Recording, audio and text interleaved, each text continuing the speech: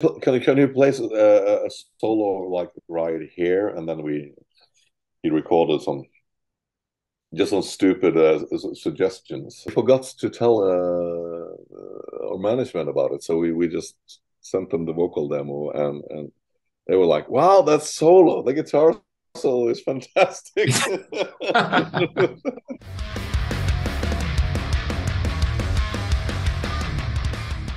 So I have the wonderful Grutle Kjellson from Enslaved with me tonight. How are you, Grutle?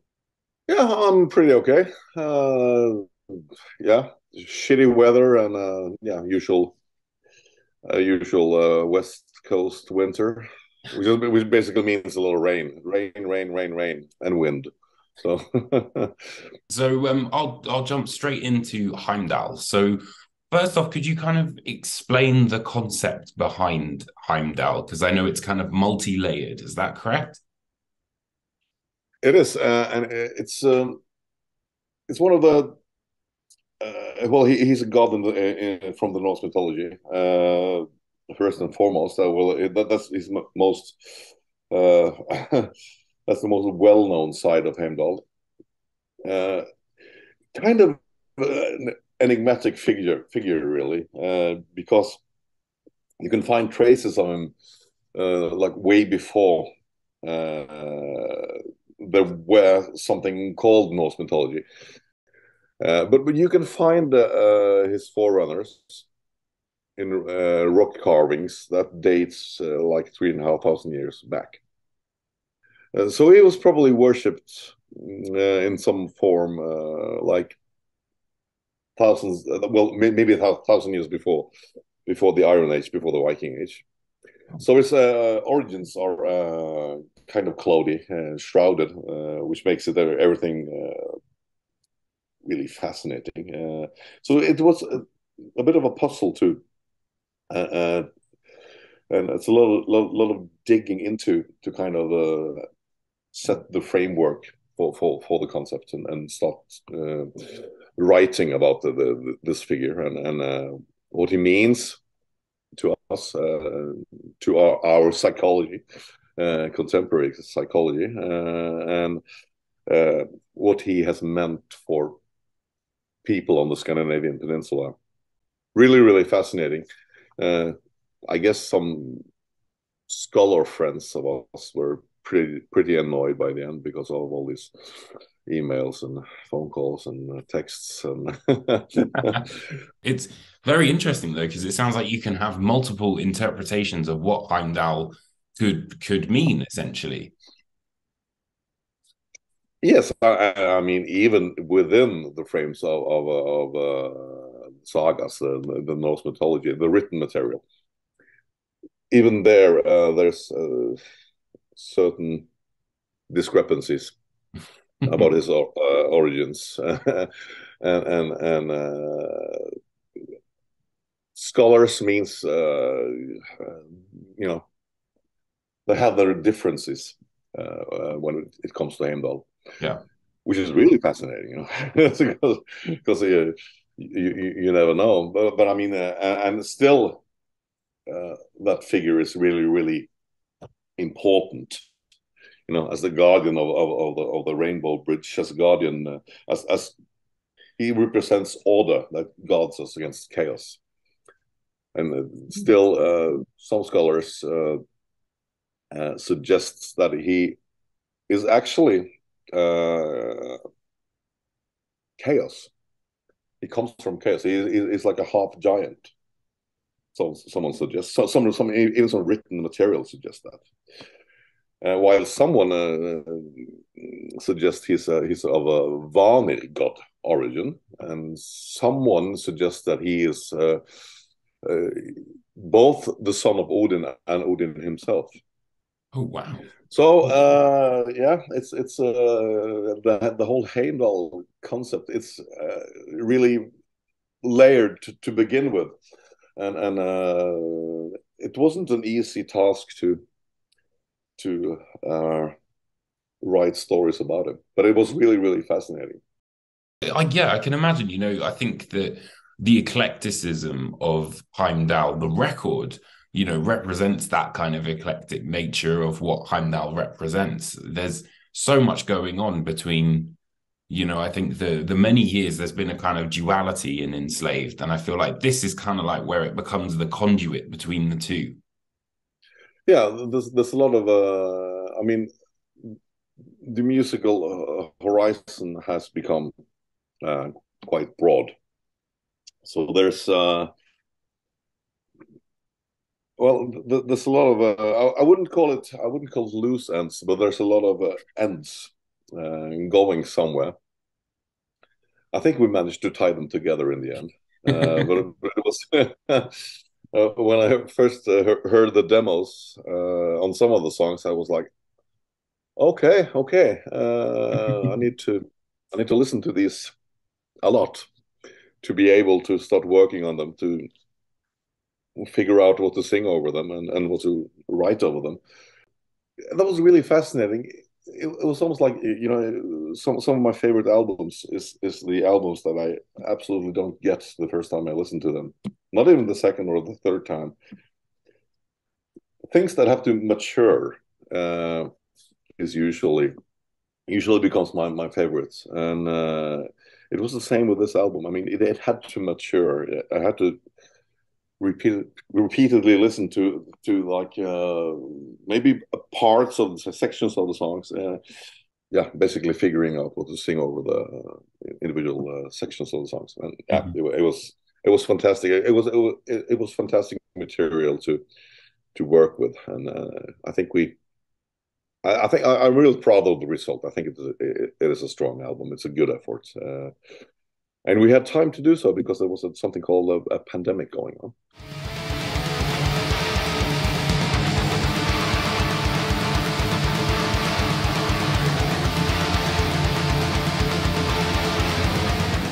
it's but it's very interesting because you know and not not trying to say this to anger anyone or anything like that but i was the same when i first heard congelia i was like don't know if i get this but now it's like one of it's it's like without a doubt Heimdal is one of my favorite enslaved albums. But you're right, it takes time because you have all these. Yeah, yeah.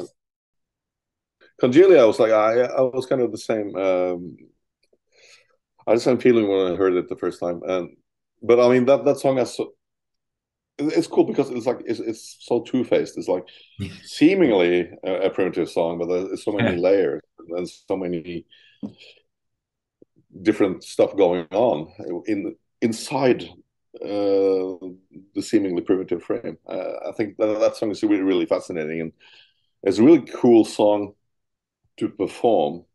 It happens something all the time. Yeah, and seemingly, seemingly not. So, so it's a it's a super fascinating song. I, I, love that song.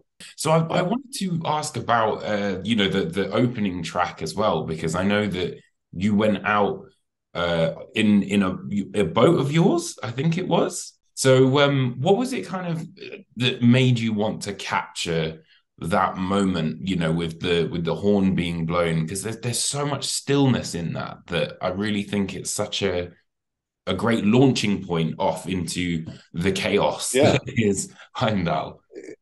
Yeah, it's it's kind of it kind of connects with the, with a, I told you about um, Heimdall's uh, origin as as a, as a historical, not not an historical person, but uh, as um, uh, religious figure uh, that has been for, for like uh, thousands of years, mm. and so that horn you hear in the beginning of uh, of, of uh, behind the mirror is, is like it's, it's, a replica of a of a Bronze Age horn they found in a in a bog in Denmark. Uh, I think it was dated three thousand three hundred years old. Uh, so they made a couple of replicas all of that, and uh, our friend Eilif from Wardruna has uh, got one of those, and. Um, so uh, I've got a couple of boats in a in a lake just nearby my house, and we went out there to a, a small island.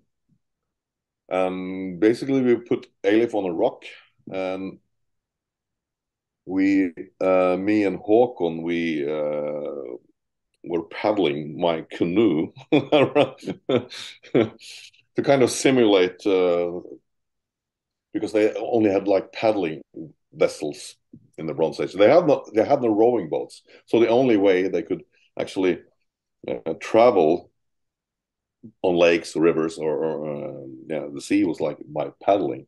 Oh wow! So they were just paddling vessels.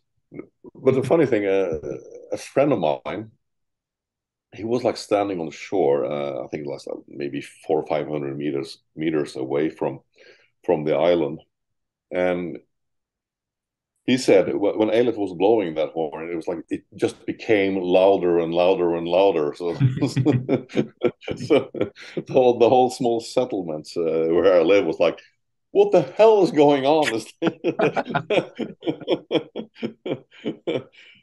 so it, it, was it was really really loud, uh, yeah, and it was totally totally a goosebump moment because it it, it was so massive. We we don't know exactly what these horns were uh, used for, but I mean, uh, some kind of summoning. It, it, yeah. it, it definitely was, well, and yeah, so they were, was kind of uh, reconnecting with the whole origins of Heimdall. So uh, oh, it was it was fantastic. Yeah. yeah. So i I've often wondered as well on the final track, the the Heimdal track, is the I think it's like the last sort of like 30 seconds before that sort of uh, synthesizer fades out. It sounds like there's another horn. Yeah, the same. That's uh, from the same from the same session. Yeah. yeah. Oh really? Yeah, yeah, yeah, yeah. Oh wow. That's so cool, man. I love so that. you got it right. Yeah. yeah.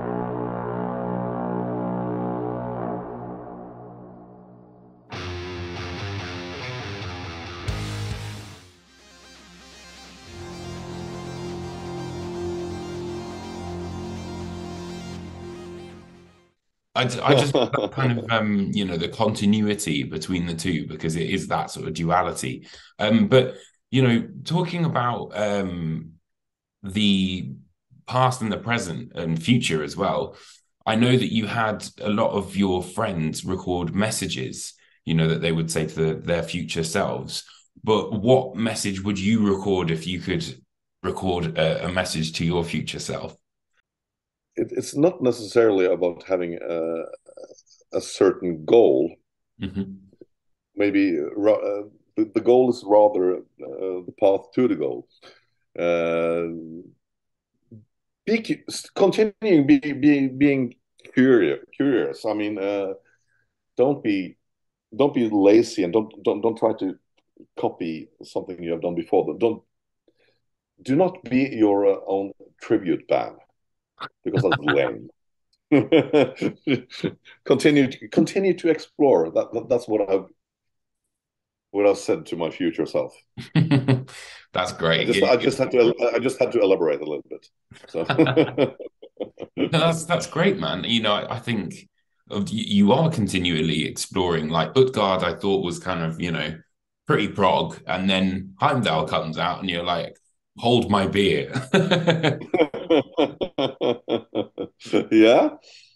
it, it is uh, Utgard was yeah it, it was proggy uh, but it was it had certain elements of of classic rock I think uh, yeah. in in the song structure at least even in the riffs uh, well, well Heimdal is, is, a little bit more it's a bit more trippy yeah. it's a bit more uh, we had some trippy parts on on Utgard man maybe this is a continuation of that it's more it's more uh, it's more rock oriented. Mm. I think more, more um, longer instrumental sections and and and more uh, yeah more more more more trippy, more more dangerous maybe. So mm. it, it's it really we went back uh, a bit and, and, listened to those old Tangerine Dream albums, Klaus Schulze, Kraftwerk, stuff like that. Yeah. Really atmospheric stuff and uh, those bands i mean they, they are just as crucial for for enslaved uh, as, as, as bands like bathory and mayhem really. Has it has it always kind of been the case that they're they're quite crucial to to you guys or is it oh, yeah, absolutely just just listen to our debut album uh, viking i mean mm. there's like long passages that are really really kraut uh, rock and and and back then we were like uh, we had a really really uh, long period of time actually where we basically listened to Tangerine Dream and, and Klaus Schulze and stuff like that. So uh, yeah, it, it, has been there for more than thirty years. That fascination of of that particular music scene. Yeah, yeah. I think more people should listen listen to that because like oh, it's super dreamy uh, and, yeah. It just it expands yeah. your mind as well. I think you know. Like, yeah, it it, it, it, it really does. It, it really makes you think. I mean, uh, it it might seemingly be like slow and repetitive, but that that's not uh, uh, the intention. It make, makes your mind expand, which is really really important when you, uh, as a listener to music, you're supposed to connect with something one way one way or the other. Music is about uh, taking you somewhere. Mm-hmm. Yeah, it, almost like a, a trance-like thing. Mm. Absolutely. I, and I, I, I, get that with Enslaved as well. You know, like I think, especially this album, like we were saying with Congelia, it's just, it's interesting because as much as it is looking incredibly forward, it's also, I feel like, the most black metal that you guys have sounded for quite some time. Yeah, that might, yeah, that might be, uh, is that a coincidence or is it, is it not? it's really hard to pinpoint yourself, but uh, yeah, maybe it is. Uh, and well, I think uh, the drums, the drum patterns uh, are, are, really like old school, old school extreme old school black metal, definitely because it's like it's like not not blast beats, it's just like uh, it's like uh, mid tempo tiring and uh, we call it uh, something uh, we, we call it in Norwegian we call it langrenspinne which means cross cross country tempo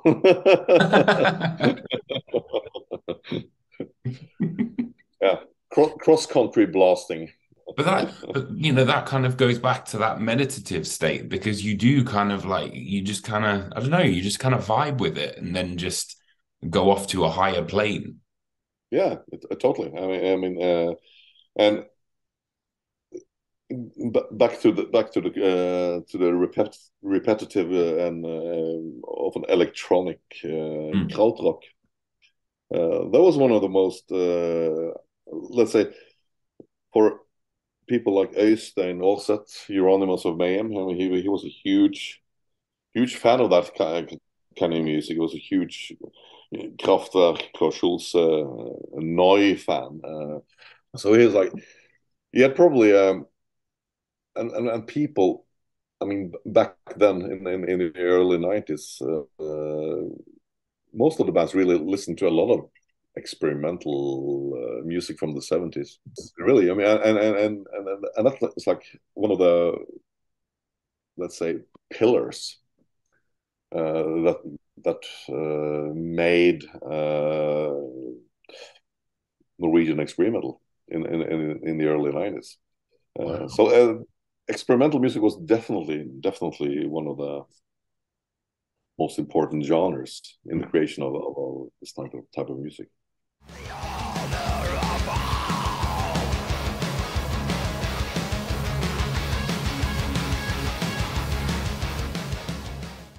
What was the the writing process like for this album? Because you, you say you had lots and lots of time. Was it kind of to the point where you had too much time and you were kind of like looking no, it was basically like, uh, like um, the last couple of albums.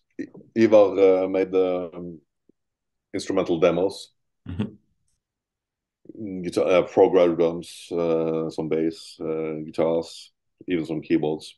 Myself, I would, I would uh, try, try to dis- decipher what's, what the hell was going on, uh, making a, a sketch, a plan, uh, what to to sing over over um, me and the drummer Iver Sandøy.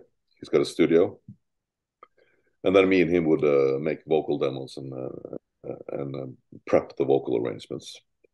And this time it was like, well, we spent a couple of days uh, in a row. Like maybe we made um, demos for like one or two songs a day, mm-hmm. something like that. Usually, after we have uh, done vocal demos, we would uh, decide where to put the guitar leads, and uh, then we will involve Ice Arve uh, a little bit more, and uh, and we even made some suggestions. I think Eva took a guitar like a Telecaster off the wall, and mm-hmm. okay, so I made a solo suggestion, and uh, yeah, and that was actually the, the guitar solo of uh, Congelia. Huh.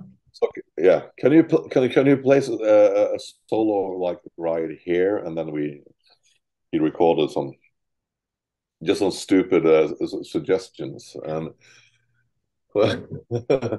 we forgot to tell uh, our management about it, so we we just sent them the vocal demo and and they were like, "Wow, that's solo. The guitar solo is fantastic."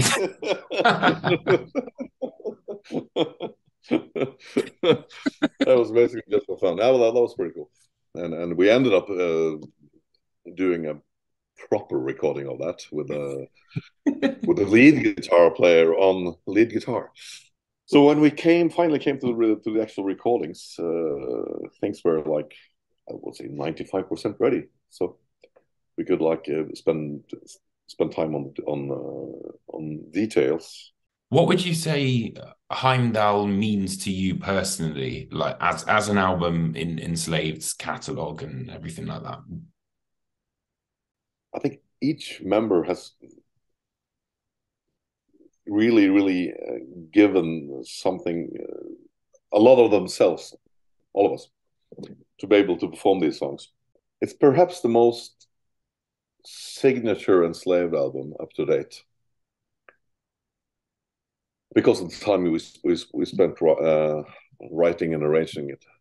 And so it's like i think it's i think i would say it's the most personal album for all five of us that we have ever recorded.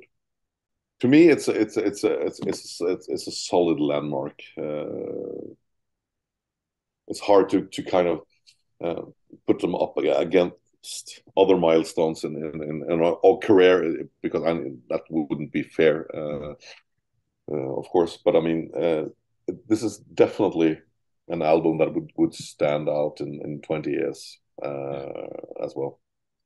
Absolutely. Maybe more than other Enslave albums as well. So I'm I'm really really proud. It's of course a cliche to say that this is the best album we have ever done, but I I seriously mean it. I seriously feel it. Yeah, and I seriously do that on on on every release, so that doesn't mean anything at all. but I think, I, yeah, I really love the album, uh, and I'm really, really, really proud of it. Good man. Yeah.